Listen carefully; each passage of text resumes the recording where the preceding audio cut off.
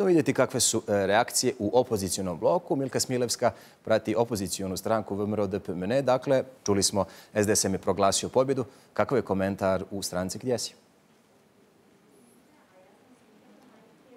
Саша, па најверојатнije из ВМРО ДПМНЕа су чекали да виде со којим порукама ќе изачи Стево Пендаровски, кој е нови председник Републике Северна Македонија и челник СДСМ Зоран Заев и очекује да се да u toku narednih, da kažem, za pola sata najverovatnije da se obrati ovde i čelnik najveće opozicione stranke VMRDPMN Hristijan Mickuski kao i njihova kandidatkinja za predsjednicu Gordana Siljanovska Davkova da izađu sa svojim presekom, svojom percepcijom ovog izbornog dana. Umeđu vremenu ovde i stranke su nas brifirali i na osnovu njihovih partijskih analiza i procena najveća opozicijona stranka je osvojila oko 370.000 glasova. To je oko nešto više od 50.000 glasova više od prvog kruga predsjedničkih izbori. Oni su zbog toga veoma zadovoljni.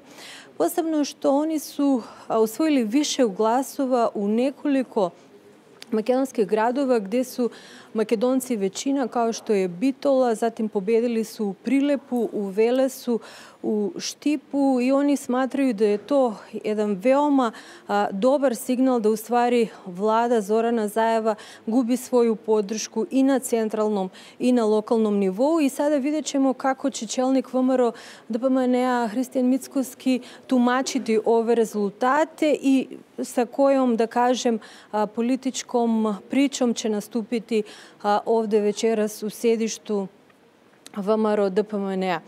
Rekla bih da i on sam ima puno razloga za zadovoljstvo zato što ovo su prvi izbori na kojima on vodi ovu najveću opozicijonu stranku i može biti zadovoljan sa ovim rezultatom, posebno što on je napravio razliku između prvog i drugog kruga, znači on je uspeo da mobiliše velik broj pristalica ove opozicione stranke koji su verovatno najviše reagovali zbog prespanskog ugovora i promene imena zemlje u Republika Severna Makedonija. Međutim, generalno verovatno postoji nezadovoljstvo i načinom vladanja aktuelne vlade premijera Zorana Zajeva, dok sa druge strane, evo na osnovu ovih rezultata koje imamo, prema onim, da kažem, partijskim rezultatima sa kojima je izašla VMRO DPMN, njihova procena je da je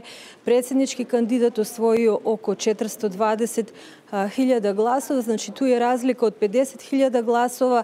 Iako uporedimo uspeh samo SDSM-a na zadnjim lokalnim izborima, oni su u gubitku od 100.000 glasova, Znači, oni su u oktobru 2017. osvojili 520.000 glasova, a tada su na izborima za čelnike opštine i odbornike nastupile sami, bez da pritom uđu u koaliciju sa vladajućom albanskom duji kao što su radili na ovim predsjedničkim izborima i zajedno istakli i stali iza kandidature Steva Pendarovskog koji je novi predsjednik Severne Makedonije. Evo, u očekivanju smo tu u sedištu najveće opozicione stranke da se obrati čelnik ove stranke, Hristijan Mickuski, da vidimo sa kojim porukama će oni izaći. Inače, generalni sekretar ove stranke u prvom obraćanju je rekao da rezultati govore o padu, početku pada vlade Zorana Zajeva i govorili su o nizu nepravilnosti koji su zabelešeni u toku izbornog dana, o grupnom glasanju, o donešenju birača na biračkim mestima, da je čak bilo i slučajeva da se podmićivali građani kako bi dali podršku kandidatu vladajuće koalicije. Milka, hvala ti za sada. Dakle, pratit ćemo ovaj razvoj, uh, uh, jeli, dakle, i kada Hristijan Miskoski izađe na binu, dakle, Milka Smilevska u sjedištu stranke VMRO DPMN.